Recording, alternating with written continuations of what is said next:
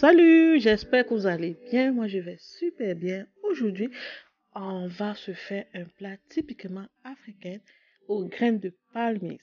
Devinez quoi? Je vous présente une de mes recettes de la sauce graine. Elle est tellement, elle va être tellement spéciale. On va mettre tout ce qu'il faut à l'intérieur pour la rendre savoureuse, savoureuse et délicieuse. On commence avec les ingrédients et après on y va avec les étapes. Restez avec moi. À tout de suite.